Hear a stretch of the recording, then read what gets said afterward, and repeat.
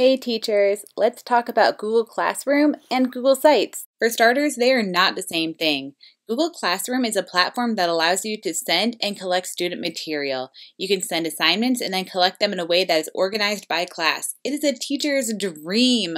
Although giving information to students is easy, organizing it in a way for them to understand is not. Let me explain. Here on Google Classroom, you can post the information and materials you want your students to have for a lesson, such as Google Slides, YouTube videos, links to the articles you want your students to read, additional student example photos, a Google Form quiz, and a Google Doc rubric, and so much more. Oh my goodness, this list could go on and on, but wait. What if you could post all of this with one link? Well, Bitmoji Boppity Booyah! It's your fairy god teacher here to grant you your wish with Google Sites. Let me show you what you could be doing. Welcome to your Google Site classroom. Here you can place all of your materials in a step-by-step -step manner that is easy for your students to follow. Step 1. They will watch a video that you have made or found on YouTube. Step 2 has an example image along with a link to the document you want your students to work on. Step 3 has an example image and written details about their assignment.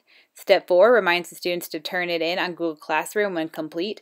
And Step 5 is an example of what it would look like if you've included a form for your students to complete. And below that, there is a gallery of images for examples. There is so much that you can do on this, and it doesn't take long for anything to load since it's directly linked to your Google account. This is a much better way of presenting your lesson. With resources and easy to follow steps, students will not be confused or overwhelmed. So instead of dropping all your resources into Google Classroom, just put the link to your Google Site lesson and dang girl, you are done. Go get yourself a drink, put your feet up, and get comfy because you did all the work already. Students can go online, they can see their lesson to your website, they can access your videos, links, presentations, and whatever else you want to add. You just sit back, relax, and wait for those loving emails from adoring parents to flood your inbox, thanking you for such a detailed lesson.